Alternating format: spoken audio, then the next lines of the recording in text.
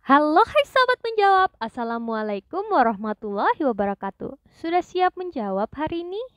Yuk mulai Bismillahirrohmanirrohim Sebelum mulai Aku mau ucapin terima kasih bagi kalian yang udah like dan subscribe Oke kita buka buku Bahasa Inggris kelas 9 halaman 138 dulu ya Gimana? Udah?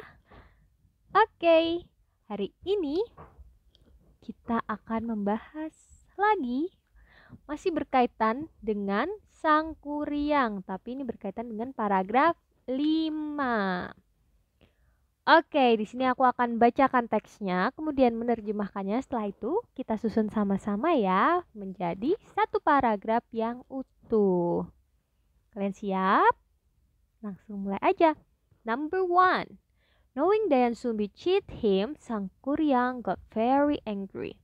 Mengetahui bahwa Dayang Sumbi menipunya, Sang Kuryang sangat marah. Nomor dua, Dayang Sumbi got very worried. Dayang Sumbi sangat khawatir.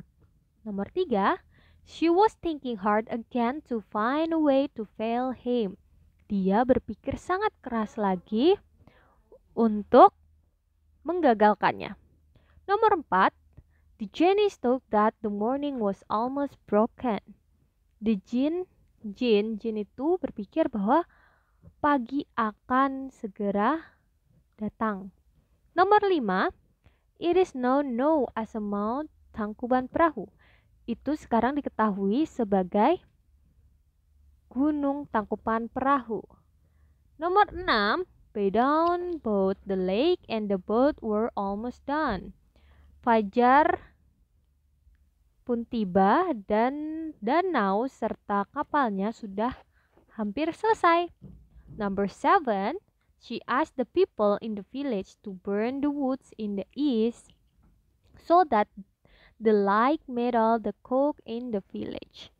Jadi dia meminta orang-orang di desa untuk membakar kayu di timur. Jadi akan ada cahaya dan membuat ayam jantan di desa itu berkokok. Nomor 8. They ran away as fast as they could, leaving the boat unfinished. Dia berlari sejauh mungkin yang dia bisa, meninggalkan kapal yang belum selesai. Nomor 9. Then she had an idea. Jadi dia mendapatkan ide. Nomor 10. He kicked the boat so hard that it went upside down. Jadi dia menendang kapalnya dengan keras dan itu kayak melompat atau pergi gitu ya, sangat jauh gitu. Oke, langsung aja. Kira-kira mana nih yang pertama? Yang pertama itu kira-kira nomor 6. By down boat the lake and the boat were almost done. Jadi nomor 6. Tulis di sini ya. 6. Selanjutnya.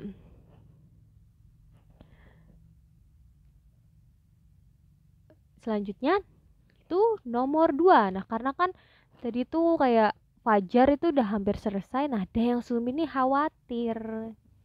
Jadi nomor 2. Dua oke. Selanjutnya kira-kira mana nih? Karena dia sangat khawatir.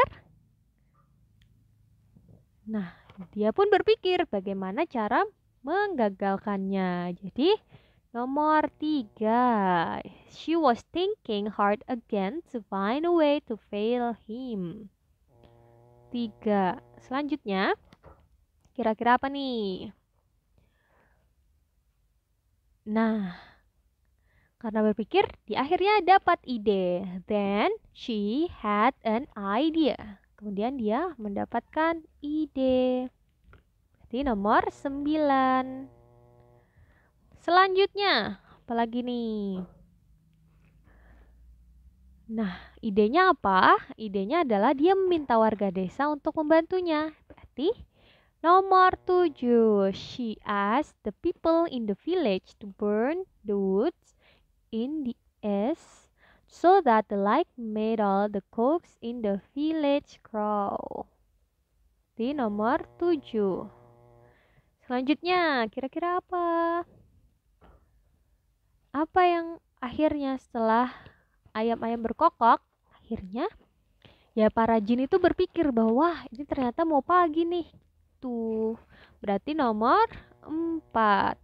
The Chinese thought took that the morning was almost broken. Berarti nomor 4. Selanjutnya kira-kira apa yang dilakukan para jin?